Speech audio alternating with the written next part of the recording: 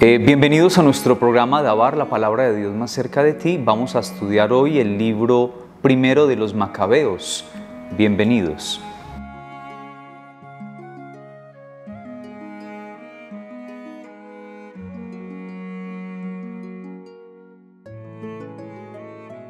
Bienvenidos hermanos a nuestro programa Dabar, la palabra de Dios más cerca de ti.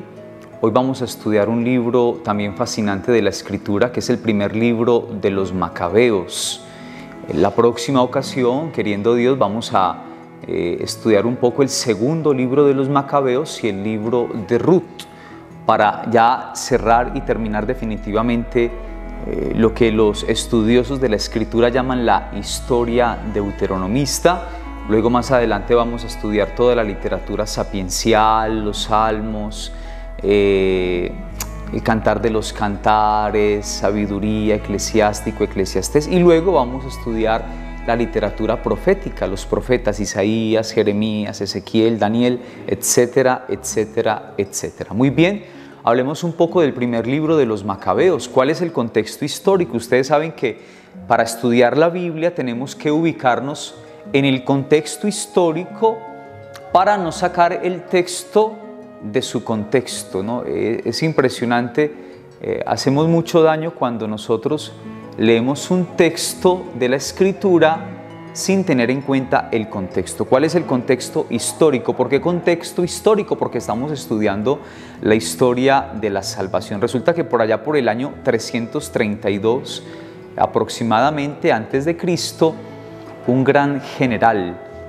yo creo que el más grande de todos, Alejandro Magno, eh, conquista la Judea, que es toda la tierra de la Biblia, y comienza en la historia de la salvación un periodo llamado el helenismo. ¿Qué es el helenismo? Pues la expansión de esa cultura griega, de esa mentalidad griega, de la filosofía griega, de la lengua griega. Los griegos se apoderan de medio mundo como después lo harán los romanos, que van a tumbar eh, a los griegos, porque eh, si ustedes han notado, cuando hemos estudiado toda la escritura, un imperio tumba al otro. Así, por ejemplo, a los asirios, eh, los asirios fueron mm, vencidos por los babilonios, luego los babilonios serán vencidos por los persas, luego los persas serán vencidos por los griegos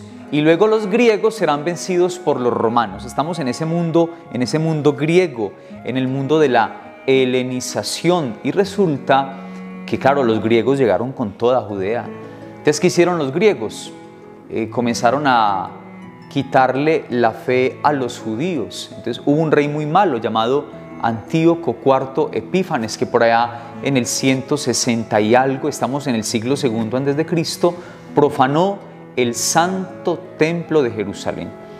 Y hubo muchos judíos que no se quedaron con los brazos cruzados, se levantaron, se levantaron. Entonces surgió un hombre llamado Matatías, ¿no? un hombre celoso de la ley, un hombre celoso del templo, un hombre celoso del judaísmo y él tenía tres hijos. Este hombre Matatías tenía tres hijos, Judas, Jonatán y Simón, esos son los macabeos. Los macabeos. La palabra macabeo significa martillo, martillo. ¿Por qué? Porque ellos defendieron la fe judía de la influencia helénica, de la influencia de los, de los, de los griegos. Así, por ejemplo, los griegos, ustedes saben que ellos inventaron los gimnasios. Los griegos eh, hacían el gimnasio desnudos. La palabra gimnasio en español viene de la palabra gimnos en griego y la palabra gimnos en griego significa desnudo, porque los griegos iban al gimnasio desnudos.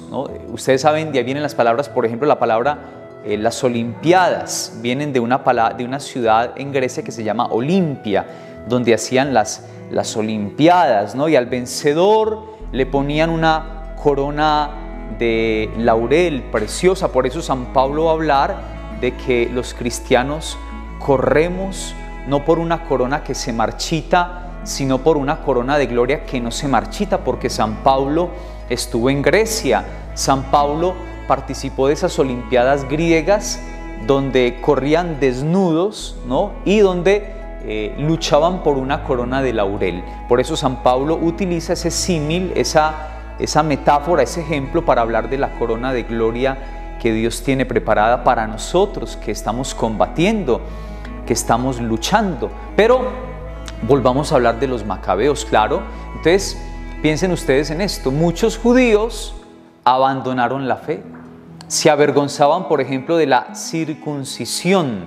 Entonces, como tenían que ir al gimnasio desnudos, se hacían una cirugía, especie, una especie de cirugía plástica en sus miembros para disimular la circuncisión. Y muchos terminaron apostatando de su fe hebrea. Entonces, ¿qué hicieron ellos? ¿Qué hicieron los macabeos? Defender el judaísmo, ¿no? a ultranza. Así los mataran, defendieron el judaísmo. Entonces, ¿Cuál es el elemento teológico fundamental del libro de los Macabeos? La fidelidad a Dios.